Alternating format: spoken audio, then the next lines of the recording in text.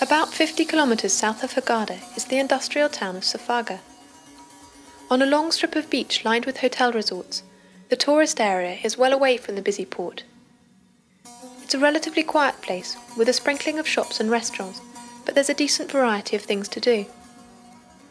Safaga is one of the best places on the Red Sea for diving, with various wrecks and coral reefs out at sea, and there's also excellent snorkeling on the nearby Tobia island.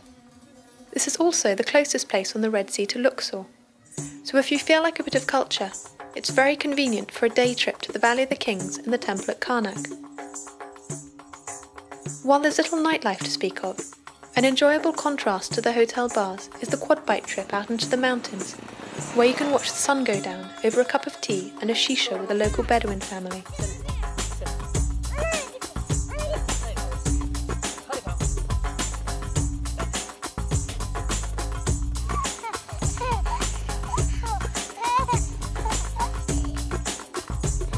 There's a number of kite centres along the bay, but each one has different riding conditions.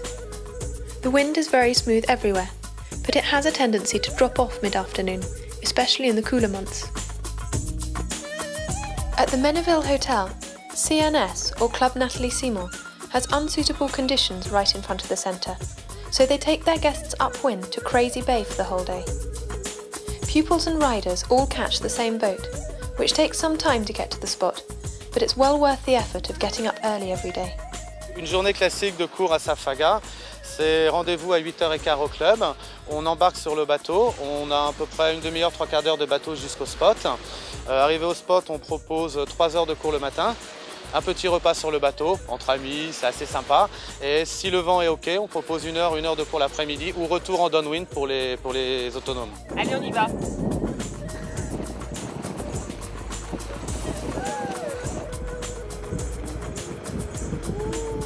L'école existe depuis 5 ans. On est une école labellisée ICAO.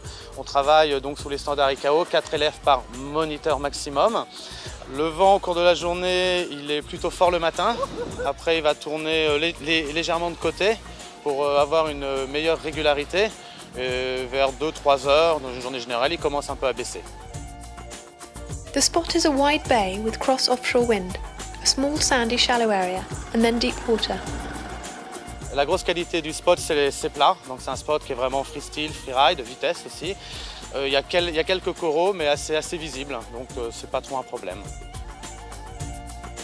If the wind holds up, independent riders will be glad they got up early, as they can ride the entire 7 kilometres back downwind to the centre alongside the returning boat. The boat can also make a detour to Tobia Island, where everyone can jump off and go snorkeling on its wonderful long reef.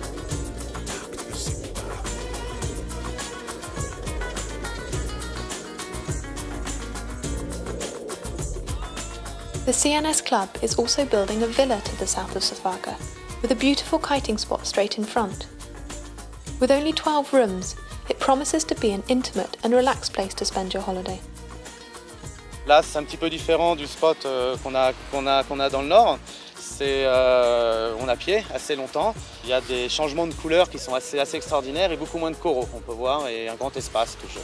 Avec un vent qui est, qui est onshore, qui permet d'avoir là une sécurité euh, assurée vraiment, vraiment totale.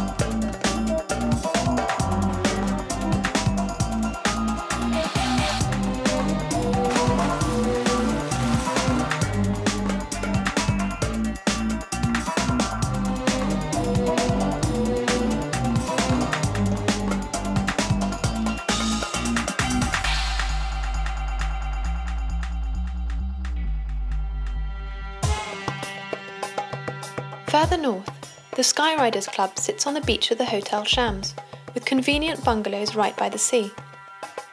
It's the largest windsurf centre in the Club Mistral chain, but they're now developing the kite surfing as well and are building a large new centre.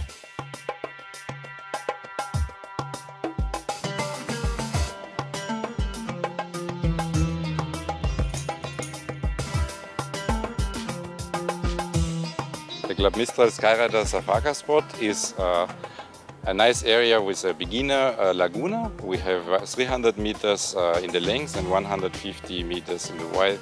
Uh, a laguna where it's shallow water and it's uh, mainly between knee and hip deep.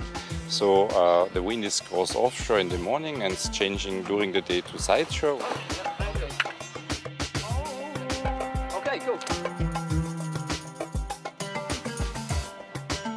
Luckily we can do all of our lessons in the lagoon. We have um, standing water, um, which makes it very safe. We don't have to do any flying on the beach. Um, and we do everything from the first handling of the kite up to water start and beyond, everything in the water.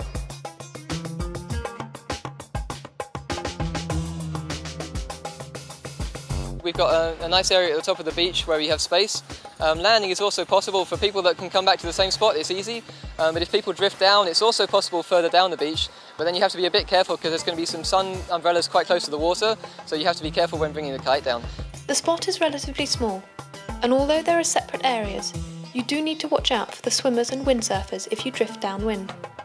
Upwind and out at sea, however, there's plenty of space, a nice steady blow, and the chop is perfect to use as a ramp when jumping.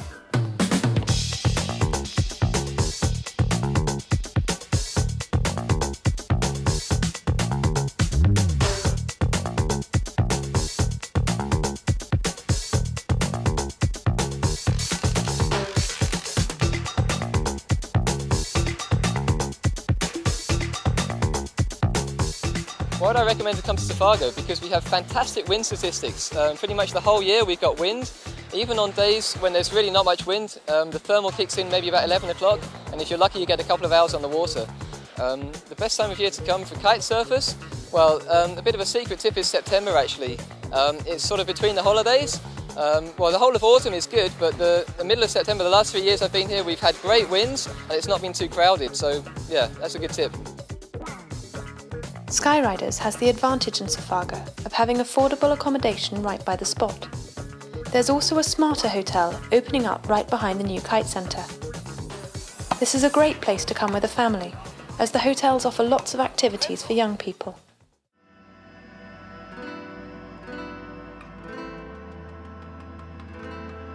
Further north again in the bay, at the Intercontinental Hotel, is the Surfmotion Centre. It's a cool place to hang out, with a beach bar right in front of the spot and music playing that can often be heard on the water. They have a large beach and six square kilometres in which to ride. The sandy lagoon covers around two square kilometres of this, and then the water sinks to three or four metres deep further out.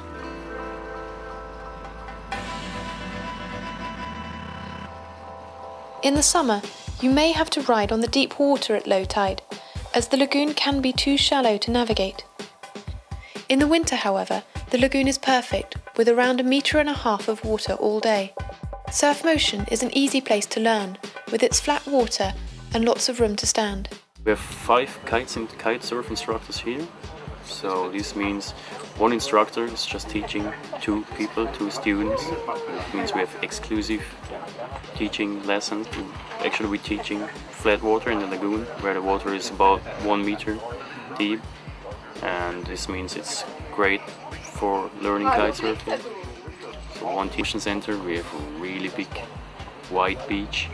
This means we have a lot of space for buggy kiting which is very nice, which is very cool and you have just the perfect conditions to learn kite surfing here. There's this amazing lagoon, nice water, it's warm, sunny every day, so it makes it all a bit more easier. At the top of the bay is the private luxury resort Soma Bay. It's full of five-star hotels, which justly pride themselves on their excellent food and accommodation. You can circulate between the hotels to take advantage of the activities on offer. There's just the one kite centre for everyone, and a shuttle bus service runs between the hotels to take the guests down to the Kite House, which is a short drive away. Set on a wide bay with clean offshore wind and very flat water, the wind is often stronger than in Hurghada, sometimes reaching 7 Beaufort, hence the club name. Soma Bay is a huge spot and it's a big bay, enough for a lot of kiters, and it's like 3 kilometers and 5 kilometers wide. And here we have uh, not so much shallow water, so after a couple of meters you will go to a deep water, it's like a drop off. And the, bay here is enough for a lot of activities and kiters and windsurfers and the sailors as well.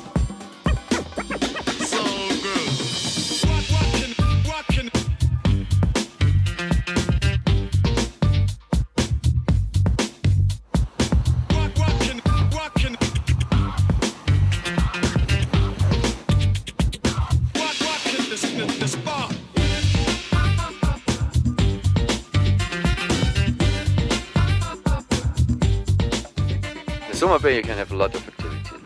It's a great place for diving, for snorkeling, especially in the Sheraton. It's um, a bridge into the water to a big reef. It's one kilometer around the Soma Bay. It's the same like diving, but you can only make it by snorkeling. We have one of the best golf courses in the world. It's not easy, but it's perfect and spectacular.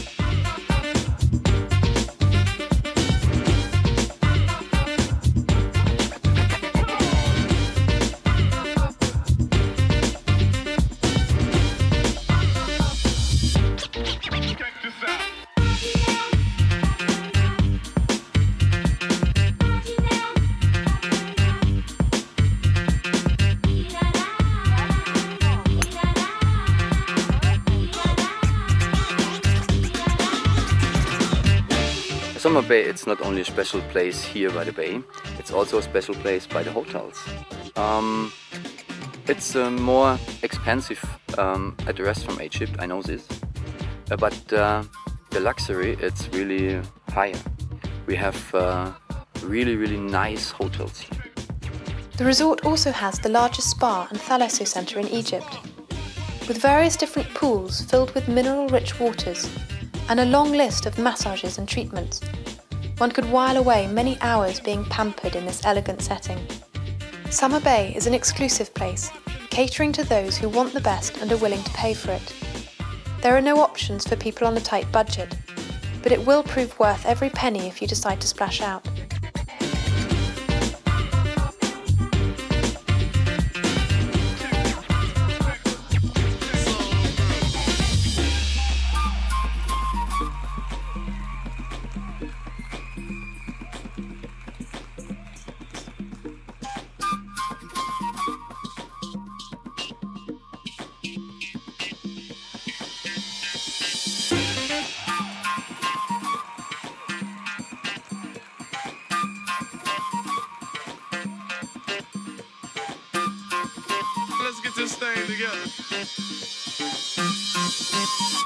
Soul Groove. Yeah.